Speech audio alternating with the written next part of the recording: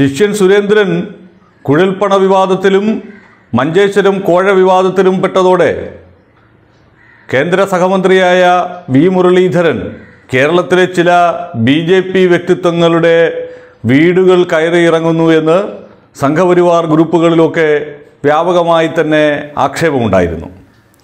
അങ്ങനെ ചില നേതാക്കന്മാരുടെ വീടുകൾ കയറിയിറങ്ങിയത് എന്തിനാണ് എന്ന് ബോധ്യപ്പെടുന്ന തരത്തിലാണ് ഇപ്പോൾ ബി ജെ പിയുടെ കേന്ദ്ര നേതൃത്വത്തിന്റെ നീക്കമുണ്ടാകുന്നത്. കേരളത്തിലെ കുഴൽപ്പണ വിവാദത്തെക്കുറിച്ചും സംഘടനാപരമായ പ്രശ്നങ്ങളെക്കുറിച്ചും അന്വേഷിക്കുന്നതിനായി രണ്ടു സമിതികളെ പ്രധാനമന്ത്രി നരേന്ദ്രമോദിയും അമിത്ഷായും നദ്ദയും പ്രത്യേക കൂടിയാലോചനകൾ നടത്തി രൂപീകരിച്ചിരിക്കുകയാണ്. അതിലൊരു സമിതി ഇ ശ്രീധരന്റെ നേതൃത്വത്തിലാണ്. ജേക്കബ് തോമസും സി വി ആനന്ദബോസും അംഗങ്ങൾ. മറ്റൊന്ന് സുരേഷ് ഗോപിയുടെ നേതൃത്വത്തിലാണ്. ഏകാംഗ കമ്മീഷൻ. സംസ്ഥാനത്തെ സംഘടനാ പ്രശ്നങ്ങളെക്കുറിച്ചുള്ള വിശദമായ റിപ്പോർട്ടാണ് സുരേഷ് ഗോപി കൈമാറുക.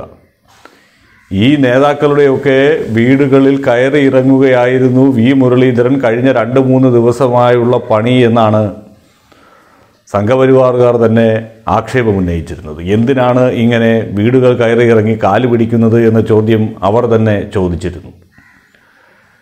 ദേശീയ നേതൃത്വത്തിന് കേരളത്തിലെ പ്രശ്നങ്ങളെക്കുറിച്ച് റിപ്പോർട്ട് നൽകാൻ പോകുന്നത് ഇവരാണ് എന്ന് നേരത്തെ വിവരം ചോർന്നു കിട്ടിയതിന്റെ അടിസ്ഥാനത്തിലായിരുന്നു മുരളീധരന്റെ ഈ ഇടപെടൽ. ശ്രീധരനെയൊക്കെ നന്നായി കാലുവാരി തോൽപ്പിച്ച തന്റെ ഗ്രൂപ്പുകാരെ അവർ ഈ റിപ്പോർട്ടിലൂടെ നിർത്തിപ്പൊരിക്കുമെന്ന് അറിയാവുന്നുള്ളത് കൊണ്ട് തന്നെയാണ് ഒരു മുൻകൂർ ജാമ്യം എടുക്കുന്നതിന് വേണ്ടി വി മുരളീധരൻ ശ്രമം തുടങ്ങിയത്. ഈ റിപ്പോർട്ടിന്റെ അടിസ്ഥാനത്തിലായിരിക്കും കേന്ദ്ര നേതൃത്വം അടുത്ത ഘട്ടത്തിലേക്ക് നടപടികൾ സ്വീകരിക്കുക എന്ന് മുരളീധരൻ അറിയാം.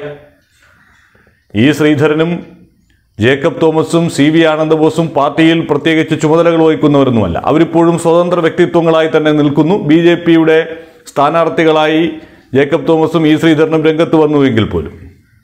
സുരേഷ് ഗോപിയും അതുപോലെ തന്നെയാണ്.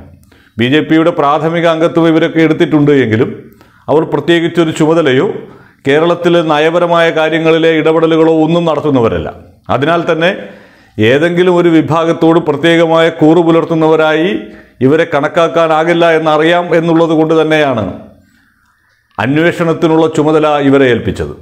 ഇപ്പോൾ ഈ കുഴൽപ്പണ വിവാദം അത് ഒരു വലിയ തോതിൽ തൃശ്ശൂർ ജില്ലയെ ബാധിച്ചിട്ടുണ്ട് പാലക്കാട് ജില്ലയെ ബാധിച്ചിട്ടുണ്ട്. അതിന്റെ അടിസ്ഥാനത്തിലാണ് പാലക്കാട്ട് സ്ഥാനാർത്ഥിയായിരുന്ന ശ്രീധരനെ തന്നെ ആ കമ്മീഷന്റെ തലപ്പത്ത് വെച്ചത്.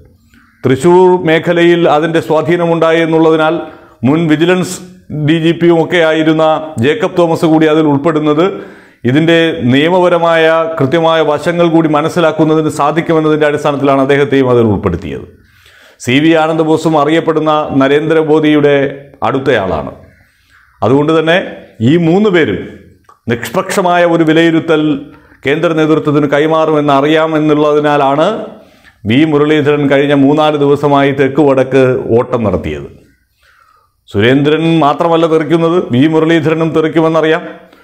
അങ്ങനെ തെറിച്ചാൽ പോലും പാർട്ടിയിൽ നിന്ന് ഇല്ലാതായി പോകുന്ന ഒരു സാഹചര്യം ഉണ്ടാകരുത്. അതുകൊണ്ട് തന്നെ മയപ്പെടുത്തിയ ഒരു റിപ്പോർട്ടാകണം ഉണ്ടാകേണ്ടത് എന്ന ഒരാവശ്യം മുന്നിൽ വെച്ചുകൊണ്ടാണ് വി മുരളീധരൻ ഇവരെയൊക്കെ കാണാനായി കഴിഞ്ഞ കുറേ ദിവസമായി ഓടി നടക്കുന്നത് എന്നാണ് പൊതുവെ ഉയർന്നിരുന്ന കരക്കമ്പി.